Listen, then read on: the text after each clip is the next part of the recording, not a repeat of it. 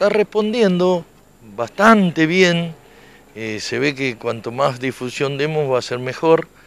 Y sí, se está levantando, se está encontrando bastante chatarra. ¿Qué se hace con eso que se recoge en la vía pública?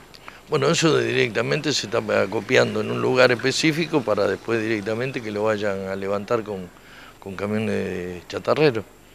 También estamos en esta semana, ¿no es cierto?, con algunas tareas que tienen que ver con el fin de semana largo. Están, hay tareas de, embellecimiento, ¿están programando alguna acción?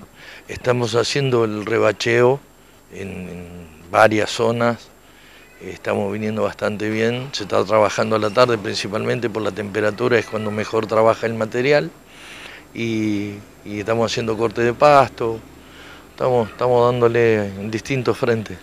Los vecinos, el contribuyente eh, que se quiera comunicar en la delegación, eh, ¿cómo debe hacerlo? Si es que tiene algún barrio, alguna problemática en particular.